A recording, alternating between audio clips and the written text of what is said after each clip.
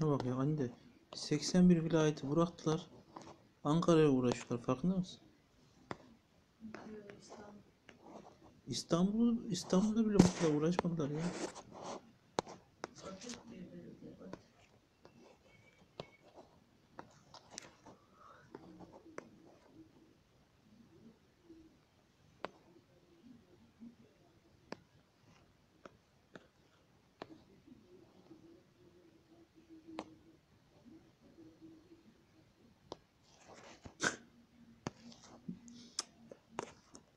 arkadaş.